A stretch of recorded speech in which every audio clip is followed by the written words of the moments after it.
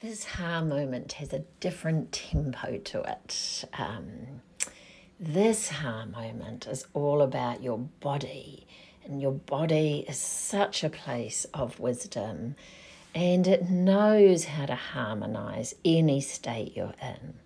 So I want you to find a piece of music that you love that has a good beat and make sure that you have it stored easy easy for you to find. And I love to create a dance playlist for myself. And then turn it on and move and dance your current state. Give however you're feeling, whatever states your moody, in some expression with the body. And feel the earth support you. And enjoy this moment of dancing your state. It really helps us tune into the harmonizing force of our body and the universe. It's amazing.